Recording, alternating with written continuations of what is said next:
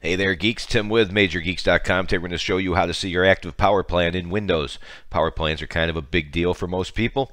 There's some pretty cool pre-configured ones, including Balance, Power Saver, High Performance, and Ultimate Performance, which we have links in this video, which you can find with the eye up here or in the video description to follow through and maybe find out how to enable some of these additional power plans. But let's see what you've got. So let's start with the control panel for Windows 7 and 8, start control panel power options. Windows 10, we got to dig a little bit deeper. We're going to go to start, click on settings, click on system, and click on power and sleep. So now that we've gotten this far, we have to actually click on additional power settings to get to the control panel. And there you can see I'm using the high performance.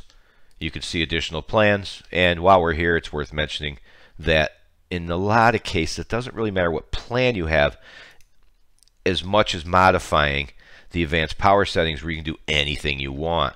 So you can actually create your own plan.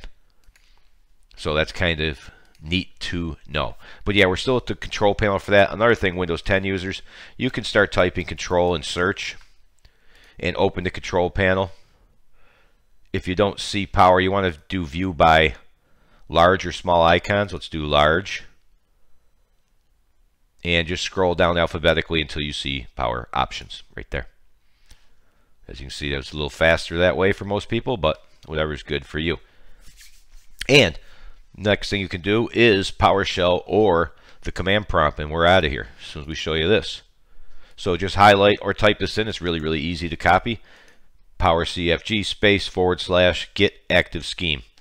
I'm a copy and paste nut and maybe a tad lazy with my spelling because I screw up a lot. So I'm going to copy that. You do that by putting your mouse right here.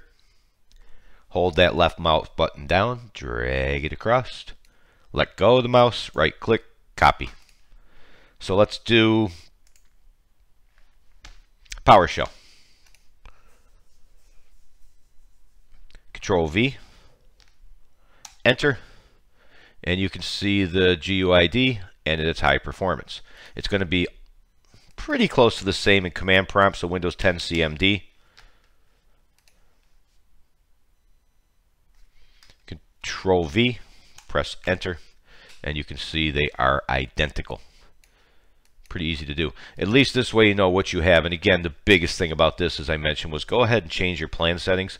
And if you click through to this tutorial, Here's how to turn on the Windows 10 Ultimate Performance Plan.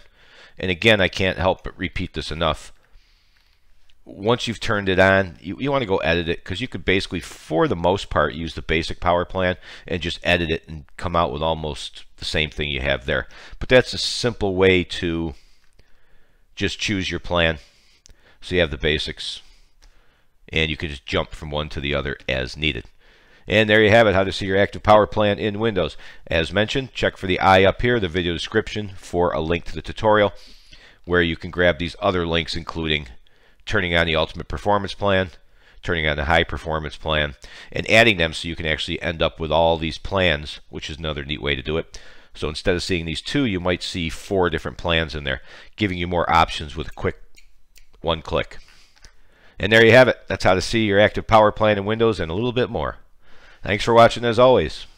See you.